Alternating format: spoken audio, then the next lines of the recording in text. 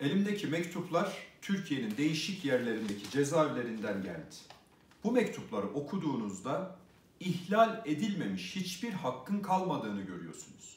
Tutukluların sohbet etme hakkı, kitap bulundurma hakkı, müzik aleti bulundurma hakkı, doktora gitme hakkı, mektuplarını okuma hakkı tamamen gasp edilmiş.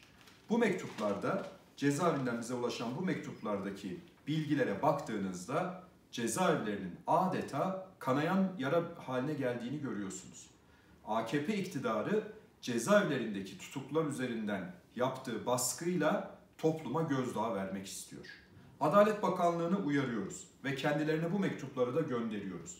Cezaevlerindeki hak ihlallerine bir an önce son verin.